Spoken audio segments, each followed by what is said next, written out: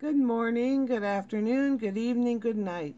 Depending on where you are in this world, God bless you. This is Gloria White coming to you from Utah, USA. Now, I want us to look at Matthew chapter 24. Remember now at the in Revelations 8, I was just telling you that the Lord is not coming till after the son of perdition is is ex, is exposed or rises to power. So here, let's read Matthew 24, starting in verse 4. Take heed that no man deceive you, for many shall come in my name, saying, I am Christ, and shall deceive many. And ye shall hear of wars and rumors of wars. See that ye be not troubled, for all these things must come to pass, but the end is not yet.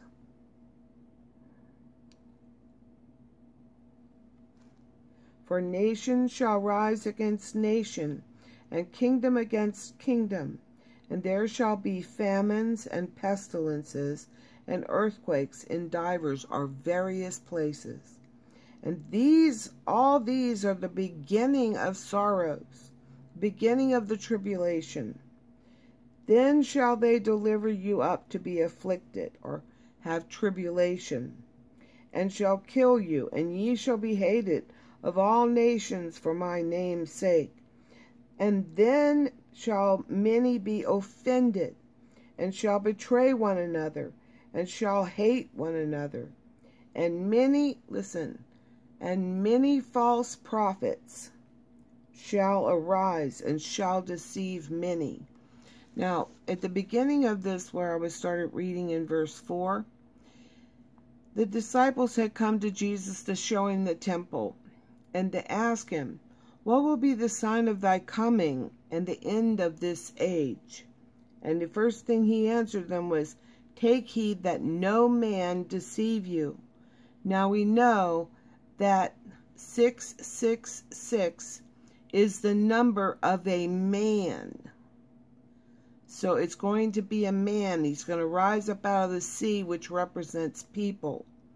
It's going to be a human man who will be the Antichrist. So, as we've already seen, and some of you can attest to, in your churches, false teaching, which makes them false prophets because they're teachers. And so we have to be careful. And the only way that you know that what your preacher or pastor or bishop or priest or whoever is standing at the pulpit is telling you, the only way you can know if what they're telling you is the truth is if you take it back to the Word of God. Now, you may not be able to um, recall every word that they said, but if you look at your pamphlet, it's usually in there what verses they pulled from in your little, you know, um, I can't even remember what they call that. But um, when they hand it out at the beginning of service, program, the program. Anyway, and then you can see. But then you can use your phone because now we have this technology available to us that you can Google it. Google, does the Antichrist come before the end? And they'll it'll bring up lots of answers and you can explore that. And it should also bring up text um, scriptures so you can go and read it for yourself. Does it reconcile? Does what they told you reconcile with the word of god? If not find a new church. Okay so um, verse 9 then shall they deliver you up to be afflicted and shall kill you and Ye shall be hated of all nations for my name's sake. And then shall many be offended, and shall betray one another, and shall hate one another. Remember, he said that mother in law will turn against the daughter in law, and the father against the son. I think this is what this here, this verse, verse 10, excuse me, is conveying. Because we know already that we're seeing the division caused by man. We have the politicians in Washington beating the drum of division. You know, everything is racist. Now it's uh, the rich people have all the money and the poor people have nothing. So it's a division, a financial division.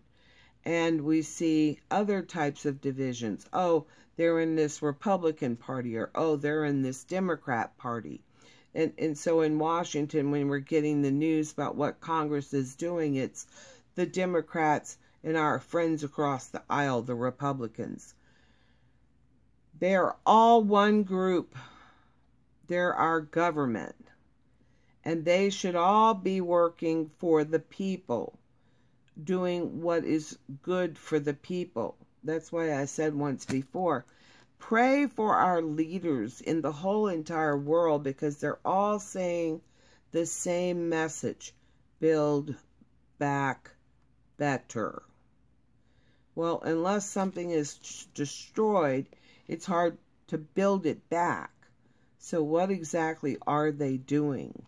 And this, I know, is a concern to a lot of people, and it is to me as well, but I know that it is the number of a man. And I know also that the problems that we're seeing in our country, these are all man-made problems. The cost of fuel going up, closed the XL pipeline, man did that all the immigrants that are coming over the border that are getting more benefits than the American people that have lived here all their life that are in need. And then we also know that